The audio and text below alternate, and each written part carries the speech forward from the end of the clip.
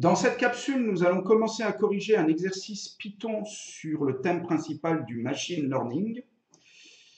Euh, là, on n'a pas le choix, c'est l'exercice 1, il y a un seul exercice que nous allons subdiviser, dont la correction va être subdivisée en plusieurs euh, capsules. Pour l'instant, nous allons ouvrir Spider et observer le fichier CLV sur lequel nous allons travailler. Il n'a que deux colonnes, deux variables. Alors, attendez, il ne faut pas que je cache euh, tout ce petit monde. Voilà, alors là, c'est très bien. Euh, pour l'instant, il n'y a que... Enfin, dans ce fichier CSV, pardon, il n'y a que deux, variables. Les années d'expérience, 1,1, 1,3, etc., jusqu'à 10,5 et le salaire en fonction donc euh, des années d'expérience.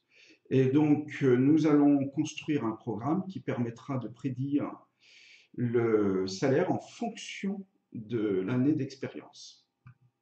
Alors, nous allons démarrer tout cela. Je vais dans un fichier, euh, dans un fichier vierge. Et dans un premier temps, je vais commencer par réaliser les imports des librairies. Alors, euh, normalement, dans tout euh, exercice de machine learning qui se doit, on importe euh, tout d'abord trois librairies NumPy, Matplotlib et Pandas. Mais là, en l'occurrence, comme je n'utiliserai pas NumPy, je, je n'indique pas.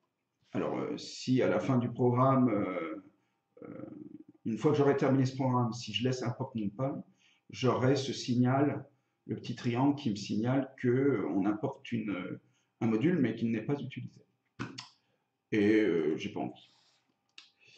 Alors, euh, ça, on va le faire tourner dans Python. Alors, exécuter la cellule. Voilà, les imports sont effectués. Maintenant, je vais importer dans mon programme le dataset en utilisant, alors cette fois-ci, le module Pandas. Et euh, je vais l'importer dans un dataset que j'appellerai dataset en utilisant la méthode read CSV. Le, fichier, euh, j'ai pris soin qu'il soit dans le même dossier que mon programme euh, IMA71. Et là, donc, euh, je l'ai récupéré. Alors, euh, on va créer donc une matrice avec les, entre guillemets, variables indépendantes, mais il n'y en a qu'une. C'est la variable euh, qui donne le, nombre d'années d'expérience. Je vais l'appeler grand X, comme la coutume l'exige. Et donc, j'utilise la méthode iloc qui permet de créer un sous-ensemble de mon dataset en fonction des numéros de ligne et colonnes. Là, cela signifie, ce slide signifie qu'on va euh, prendre toutes les lignes et celui-ci qu'on va prendre toutes les colonnes sauf la dernière. Et euh, bah, toutes les colonnes sauf la dernière, bah, il n'y en a qu'une, c'est effectivement la colonne des, euh, des années d'expérience. Voilà. Je fais de même avec la variable dépendante, qui est la variable des salaires. Comme il se doit, je l'appelle Y, et puis bah, j'utilise encore la méthode ilog, j'ai toutes les lignes, mais cette fois-ci, alors bon, j'aurais pu m'y prendre autrement, mais le slash que j'utilise, c'est moins 1, qui me permet de récupérer la dernière colonne de mon dataset, c'est-à-dire euh, la colonne des salaires.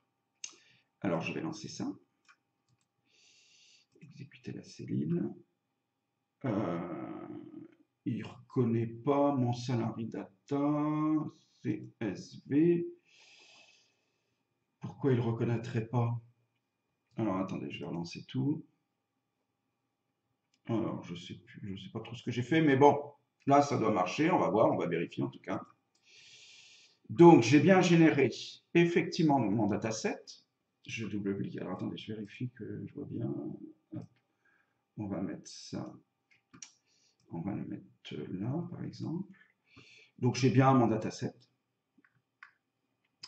Euh, je vérifie pour la matrice, la matrice euh, des, la matrice des variables entre guillemets parce qu'il n'y en a qu'une indépendante. Voilà, c'est bien le nombre d'années d'expérience. Et est-ce que ça marche pour euh, la variable dépendante Oui, j'ai la colonne des j'ai la colonne des salaires. Et ben voilà, on a fini par y arriver. Alors c'est la fin de la première étape. Euh, je vous laisse euh, cogiter là-dessus en attendant la suivante. Merci d'avoir suivi cette première étape. À très bientôt.